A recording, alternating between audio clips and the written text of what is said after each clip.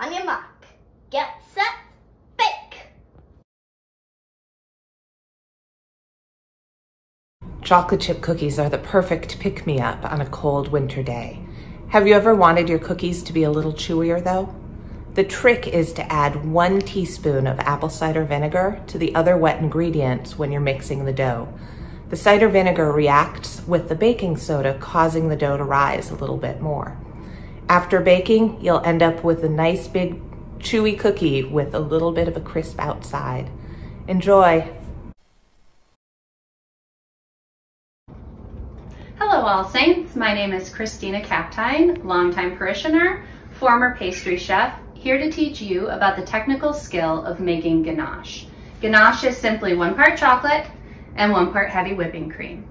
You're gonna finely chop, chop up your chocolate and put it in a heat-proof bowl.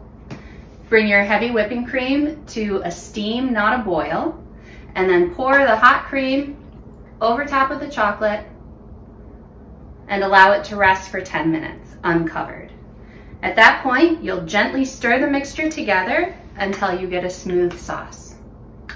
For those of you who are too impatient to wait any longer, this makes a great dipping sauce for fresh fruits or a delicious chocolate sauce to pour over vanilla ice cream. Thanks, Mom. You're welcome. Uh, for those of you who are more patient, ganache can allow you to take a simple sweet to an elegant dessert. If you allow it to cool to close to room temperature, it will thicken a little bit and it makes a perfect drizzle for decorating cakes. You'll take your frosted cake, preferably cold, and pour the ganache around the edges and over the top. Smooth it out and allow it to drip down the sides.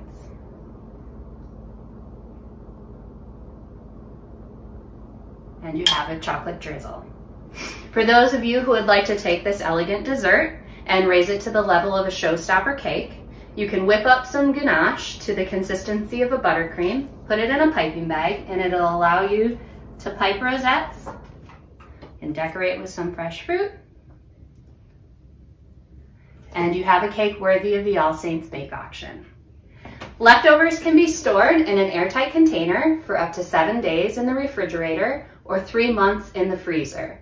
When you're ready to use it, simply take it out and microwave it 10 to 20 seconds at a time until it reaches your desired consistency. I hope you've enjoyed learning the technical skill of making ganache. Happy meeting.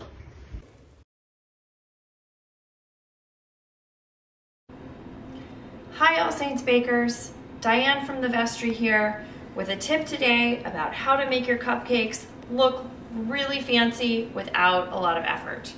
Um, so I have here just some boxed cupcakes I made from the box. I like to cut off any uneven tops so you have a nice flat surface to work with. I have buttercream icing that I made. Um, you can use basically any type of icing or frosting that you want, even the canned variety.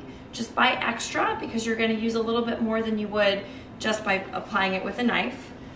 Um, I have piping bags and then I have piping tips um, that you put inside the bags.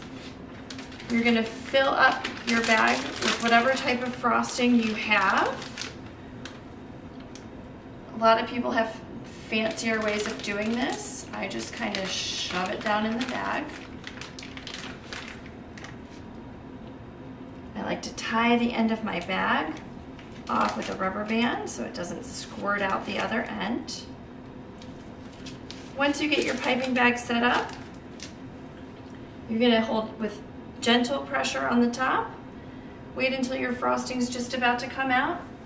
I like to start right in the middle of the cupcake. You're gonna squeeze and kind of gently press and then just do a very slow swirl. And then as you pull up, you're gonna let go of your pressure. And again, you can use this with really any kind of icing that you want, but it just gives you a really nice, um, clean look to your cupcakes. And then you can add your sprinkle. That's perfect. Now you know my secret to great looking cupcakes without a lot of effort. Happy meet, happy annual meeting. Blah, blah. Cheers. Cheers. Cheers. I need the... Mm. Right.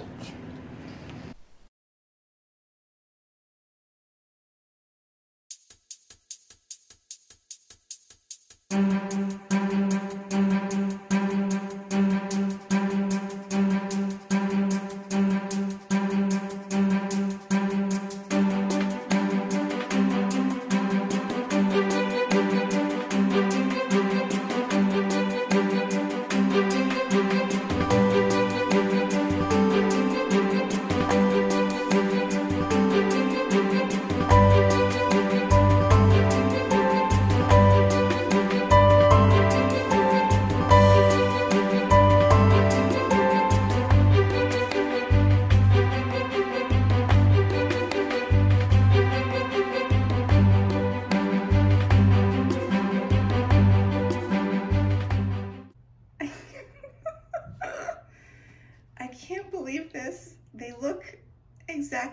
same, except that the wrong ones might actually have gotten taller. Oh my god. I'm a biscuit fraud. Look at this. They look the same. look how tall this guy got. Oh no. Oh no. oh, this is so embarrassing.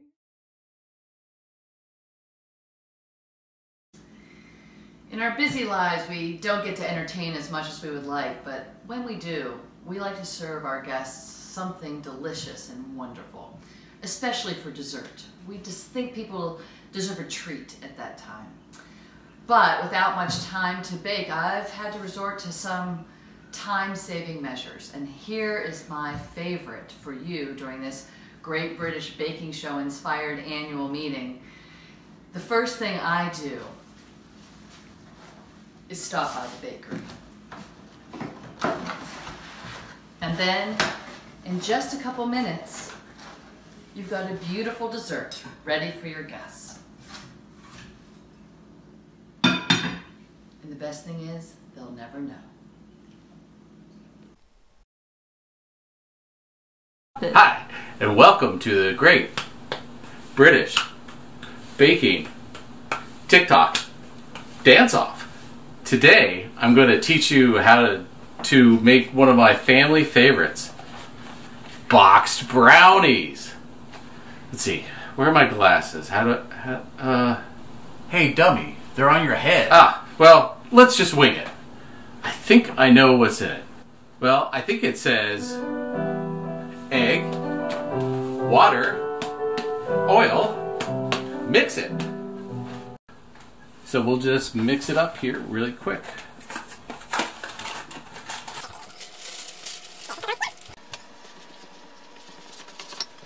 And now that we've mixed it up, we'll just throw it in to bake. Uh, which button is it? I can't. Uh, B. B, yeah. And bake it for 40 minutes. And now we dance.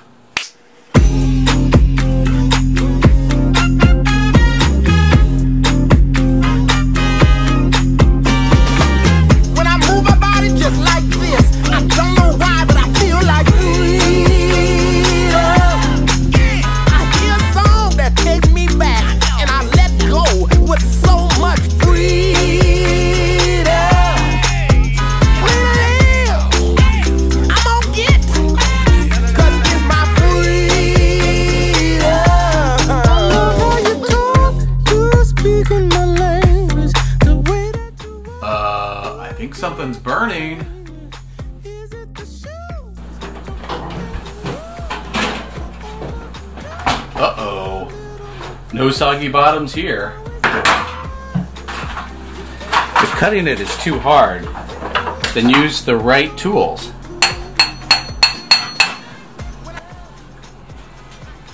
Hmm, it's a little dry, so you might need to soak on it for like an hour or two.